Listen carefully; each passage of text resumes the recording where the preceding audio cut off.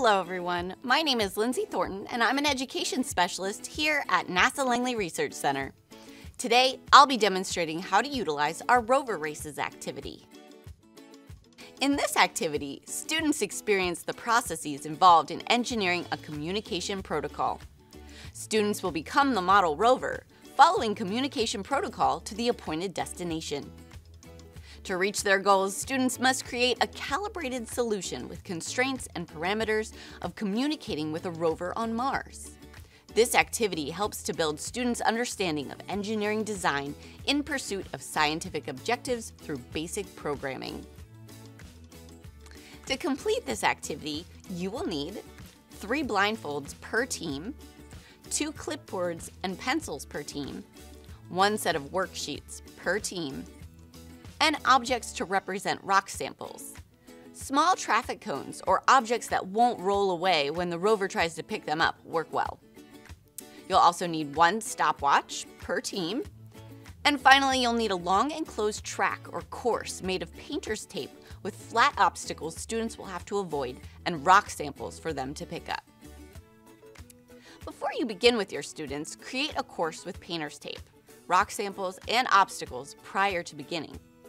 Here you can see some examples with different levels of difficulty. Now, while painter's tape is the safest for your floors, masking tape or other tape can also be used as an alternative. Next, introduce NASA's rovers on Mars and ask students which rovers they know, like the Perseverance rover that landed in 2021 or Curiosity who landed in 2012. We encourage you and your students to watch the video with 7 Minutes of Terror, The Challenges of Getting to Mars. Then ask students how the scientists got the landing to be so precise. Edge the students into the answer computer programming by asking if the students could do that with a joystick. Human error is another clue that you can give your students. Computers don't make mistakes. Another great resource for students is NASA's Jet Propulsion Laboratory's Mars in a Minute videos, specifically how do rovers drive on Mars? This could be shown to students after their answer of computer programming. Next, divide students into groups of six. Each group will be one rover team, consisting of one rover driver, three rover students, one timer, and one official. If there are an indivisible amount of students, each team can have less rover students. The rover driver will walk through the course first, counting the number of steps and listing the turns needed to guide the rover through the course. The cones on the course, or other objects you choose, are rock samples that can be collected if the rover driver has included it in their directions. Commands would be rock retrieval right or rock retrieval left. At that command, the third rover student bends down, still blindfolded, and picks up the object and hands it to the middle rover student to carry. Once the rover drivers have recorded their directions on the command sheet, the rover races can begin. The rover teams, one at a time, will line up at the starting line and run the course.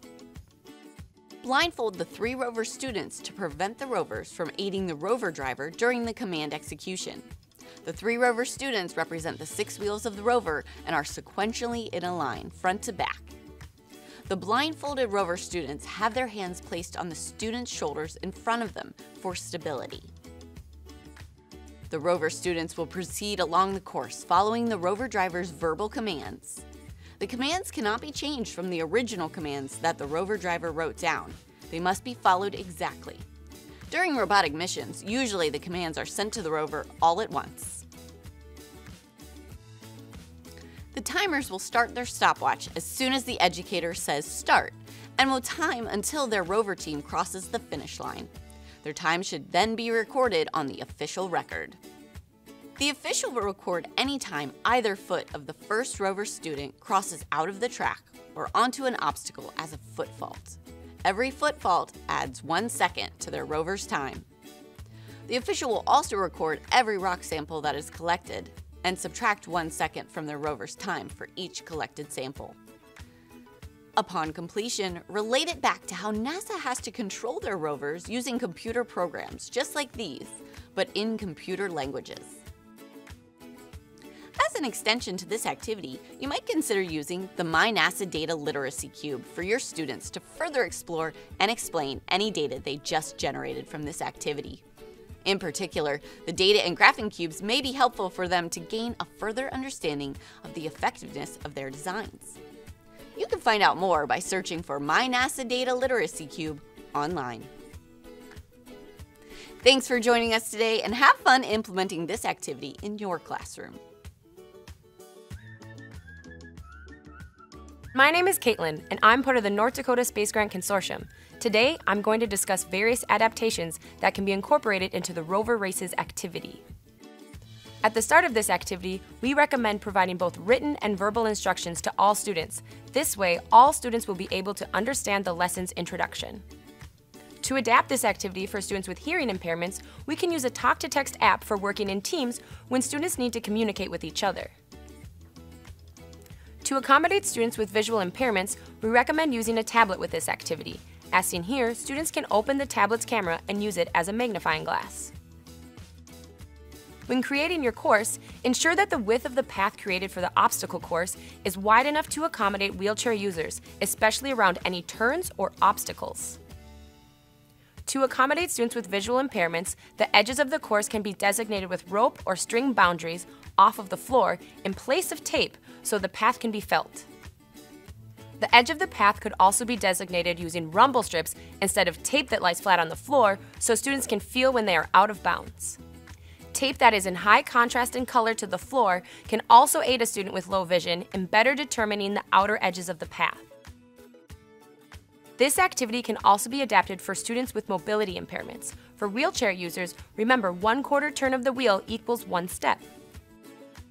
You may also want to choose taller objects for your rock samples.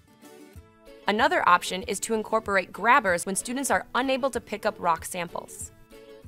Another adaptation may include attaching a string between the three rover students, connecting them even if they are unable to hold on to one another with their hands. For hearing impaired students, instructions can be written on note cards and handed to the student one at a time, instead of hearing the instructions verbally, much like a rover on Mars may read one line of code at a time when navigating the Martian surface. Another fun option for the command receivers is to agree on simple signals to represent various commands. For example, specific hand signals which mean turn right or move forward, and the number of fingers held up designate the number of steps or a unit of measure. Remember to count out loud too. To engage more students or even multiple classes, the first Rover student can hold a smartphone or tablet that can take forward-facing pictures. These pictures can be sent to the students back on Earth who will not be able to see the obstacle course. The instructor can also incorporate a time delay to better simulate the communication time delay between Earth and Mars. Instructors can set up a shared document where the rover adds pictures of their locations to Mars to the entire class, who can decide what further directions they should provide. To increase engagement even further, students can also act as the signal themselves, delivering a video recording of the instructions in person. In order to give students a more robust experience, we recommend leading this activity in sequence with other related lessons. For example, start with I Want to Hold Your Hand, where your students will build a robotic hand, followed by Eggstronaut, where your students will land on Mars. Then have your students complete this activity where they will explore Mars and gather samples.